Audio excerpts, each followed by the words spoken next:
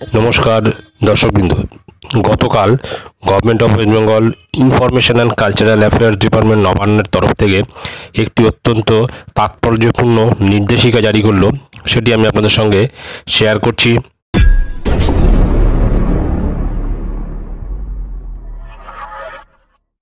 স্ক্রিনে আপনারা দেখতে পাচ্ছেন সেই অর্ডারটি নম্বর হচ্ছে one eight nine five oblique ACCI oblique ICA oblique two thousand twenty three dated তিরিশ বারো দু হাজার তেইশ।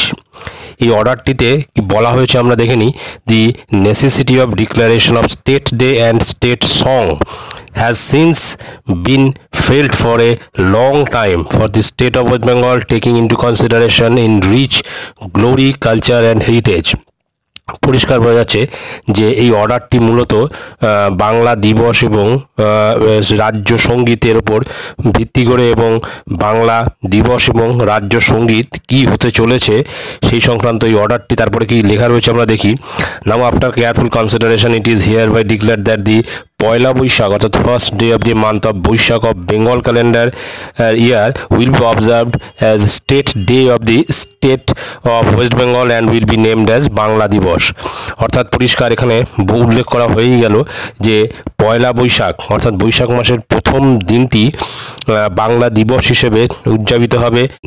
ফার্দার দিস সং বাংলার মাটি, বাংলার জল composed by Kabiguru Rabindranath Tagore has as given below is hereby declared at state song for the state of West Bengal এবং রাজ্য সংগীত হিসেবে বাংলার মাটি, বাংলার জল, যেটা বিশ্বকবি রবীন্দ্রনাথ ঠাকুরের লেখা, এই গানটি কিন্তু স্টেট সং অর্থাৎ রাজ্য সংগীত হিসেবে বিবেচিত হলো। তারপরে এখানে গানটি এখানে তুলে দেওয়া হয়েছে। গানের পঙ্ক্তি বাংলায় এবং ইংলিশে। তারপরে রয়েছে approximate playing time of this song is one minute fifty nine seconds অর্থাৎ প্রায় দু মিনিটের মতো, এক মিনিট এক সেকেন্ড কম দু মিনিট, অর্থাৎ এক মিনিট উনষাট second.